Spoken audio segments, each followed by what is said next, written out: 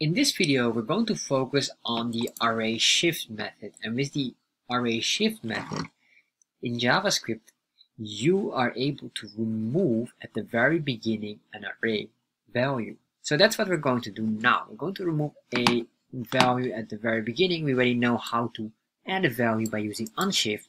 So the final one would be removing a value at the very beginning, which is shift. So let's start and apply that one and see how that works.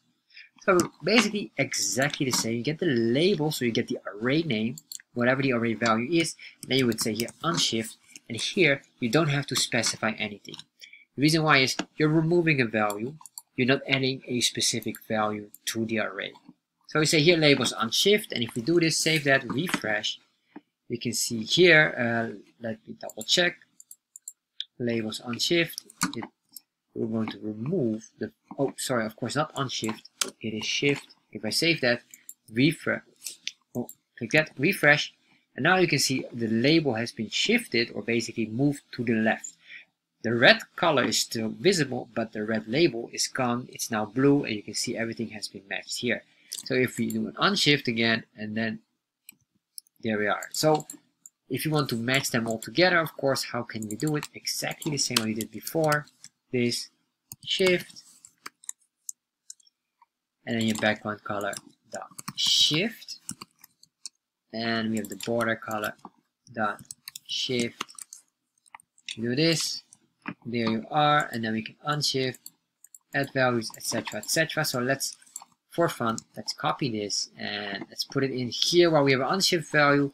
So what we could do for example if we want to push a value we also want to unshift a specific value, meaning we're going to remove specific value at the very beginning while we push one at the very end.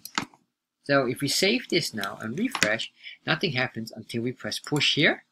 As you can see, we get the black value, but the red value has been removed, and then we do that again, and there we are. So this is basically how we can play around with that, with those options. So let me put this in a separate one using exactly the same methodology as we used before, function, then we say here shift value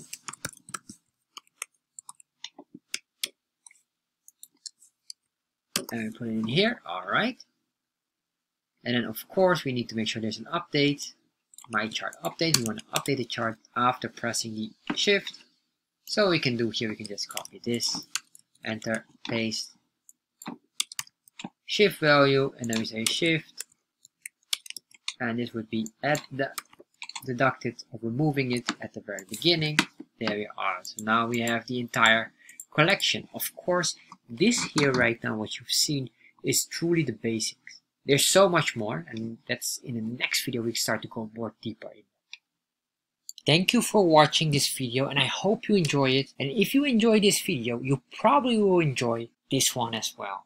And if you're interested in Chart.js, check out in the description box the link directing to my Chart.js course where you can learn everything about Chart.js. And finally, of course, make sure you subscribe to my channel.